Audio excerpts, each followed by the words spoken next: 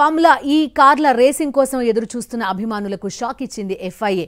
హైదరాబాద్లో ఈసారి కార్ల రేసింగ్ లేదని ప్రకటించింది. గత ఒప్పందాలను తెలంగాణ ప్రభుత్వం ఉల్లంఘించడంతో ఈ నిర్ణయం తీసుకున్నట్టు నిర్వాహకులు స్పష్టం చేశారు. ఫిబ్రవరి పదిన హైదరాబాద్ నగరంలో జరగాల్సిన ప్రతిష్టాత్మక ఫార్ములా ఈ కార్ల రేసును నిర్వాహకులు రద్దు చేశారు. రాష్ట్ర ప్రభుత్వం స్పందించకపోవడంతో ఈ మేరకు నిర్ణయం తీసుకున్నట్లు తెలిపారు. ఒప్పంద ఉల్లంఘనపై మున్సిపల్ శాఖకు నోటీసు ఇస్తామని వివరించారు. రేసు రద్దు కావడంపై ఫార్ములా ఈ సహ వ్యవస్థాపకుడు chief championship officer Alberto Longo X వేదికగా స్పందించారు. తాము చాలా అసంతృప్తికి గురవుతున్నామని చెప్పారు. ఫెడరేషన్ ఇంటర్నేషనల్ ఆటోమొబైల్స్ ఆధ్వర్యంలో గతేడాది Formula E Prix car race నిర్వహణకు సీజన్ టెన్కి గాను క్యాలెండర్ ప్రకటించింది. రేసుల నిర్వహణకు ప్రపంచవ్యాప్తంగా పదమూడు దేశాల్లోని ప్రధాన నగరాలను ఎంపిక చేశారు. వాటిలో తొలిసారిగా భారత్ను ఎంపిక చేసి హైదరాబాదును వేదికగా నిర్ణయించారు. ప్రమోటర్గా ముందుకొచ్చిన గ్రీన్కో సంస్థతో అప్పటి ప్రభుత్వంతో రెండు వేల ఇరవై మూడు అక్టోబర్ పదిన ఒప్పందం చేసుకుంది.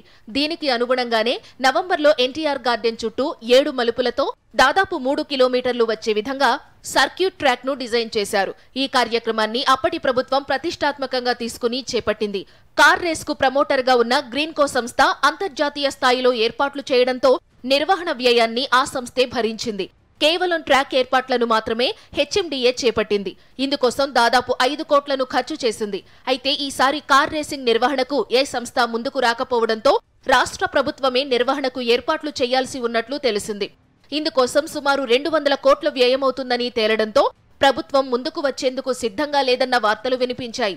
గత నవంబర్ నాలుగు ఐదు తేదీల్లో ఇండియన్ రేస్ లీగ్ జరగాల్సి ఉండగా ఎన్నికల వేళ కావడంతో చెన్నైకి తరలించారు.